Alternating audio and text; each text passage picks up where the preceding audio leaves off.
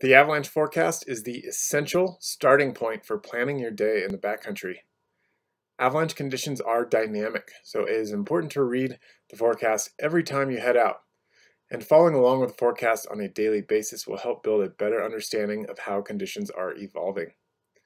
We publish a new forecast every morning around 7 a.m., one for each forecast zone.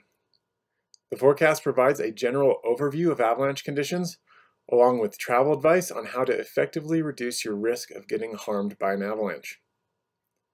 The avalanche forecast provides essential information in a tiered format, starting with the simplest information first. The forecast gives a bottom line, danger ratings, problem list, and discussion. Regardless of your avalanche education, we recommend that all users read through the entire forecast to gain the best understanding of the conditions. The product starts with the bottom line, which highlights the most important takeaways for the day's conditions. We then provide a danger rating for each of three elevation bands, above, near, and below tree line. The danger rating uses a five-level danger scale based on travel advice, size, and likelihood of avalanches. It's important to understand that the type of terrain that is appropriate on a given day can vary widely, even for the same danger rating. Thus, the latter half of the forecast is just as important. In the next section of the forecast, we describe the most common avalanche problems for the day. Avalanches come in a variety of flavors, each with distinct management tactics. In the forecast, we describe the characteristics and travel advice for the most dangerous problems of the day. This section includes infographics detailing the avalanche character, its spatial distribution, the likelihood of human triggering, and its expected size. The text further describes the characteristics, cause, timing, location, and management strategies for the problem. The accompanying photo shows a recent or relevant image to show what the avalanche problem or signs of instability might look like in the backcountry.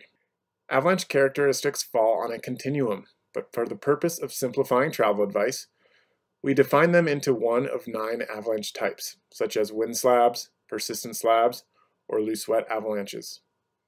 Each avalanche type has different travel advice, signs of instability, and terrain management strategies. The shaded regions on the distribution rose highlight the aspects and elevations where you are most likely, but not exclusively, going to encounter the problem.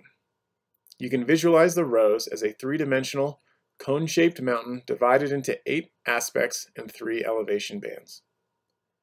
The likelihood slider highlights the chance of an avalanche releasing within the specified distribution and time period. Likelihood is defined by the sensitivity to triggers and how commonly the problem is found throughout the terrain. Terms such as possible and likely are used to define the scale. The chance of triggered or natural avalanches increases as you move up the scale. For our purposes, unlikely means that few avalanches can be triggered in avalanche terrain, and natural avalanches are not expected. Almost certain means that human and natural avalanche activity will be widespread. The size slider shows the expected destructive potential of avalanches that day. We show the expected range of sizes to include the largest potential avalanche for the problem in question. Outliers are possible. The destructive size is influenced by terrain features. Longer, steeper paths are capable of producing larger avalanches under the same avalanche characteristics found on smaller slopes. The forecast discussion provides further insight. In the discussion, the forecaster often describes evidence, observations, or recent avalanche activity to supplement the product. The discussion is also used to elaborate on travel advice, trends, uncertainties, and more. If you follow along with the forecast discussions throughout the season, you will have a deeper understanding of the snowpack history and subtleties of the avalanche conditions. Our forecast product also includes a detailed mountain weather forecast. In the Weather Forecast tab, we summarize recent and forecasted temperatures, winds, snowfall, and cloud cover. The narrative provides further insight. We use this weather forecast to produce our avalanche forecasts. That's an important point because if the weather diverges from its forecast, it often means that the avalanche forecast also diverges. For example, if the forecaster calls for 4 to 6 inches of snow and moderate danger, You can expect the danger to be higher if you find 12 inches of new snow. Our website houses a number of additional resources to help inform your decision making.